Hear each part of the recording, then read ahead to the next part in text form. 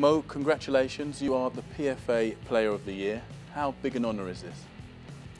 You know, it's a big, you know, I have, I feel great about that. You know, I work hard and uh, I'm very happy to win it. What are your personal highlights of the season so far? You know, uh, for my personal thing is to win something with the team.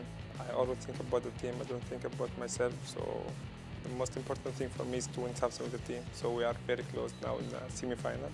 So hopefully we're gonna win it. Are there any games so far this season that stick out where you think, yeah, I nailed that one? Maybe we'll go to Watford.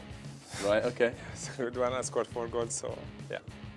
We know you work incredibly hard, but what's helped you find this sensational level of performance? I think the team, the team helped me a lot.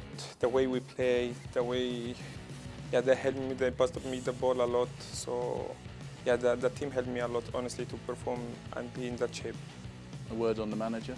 Of course, I mean the way we play, and that's that's go to the manager, and the team also the player pass to me the ball all the time, and they try to find me always to, to give me the ball. Yeah, the team and uh, the way we play is very nice for me. You've already equalled the highest number of goals in the Premier League season. What would it mean to break that record? But you know, you comparing your name with these names and break the, all the record or the Premier League record, uh, 38 goals is uh, something huge for the English or in, over the world.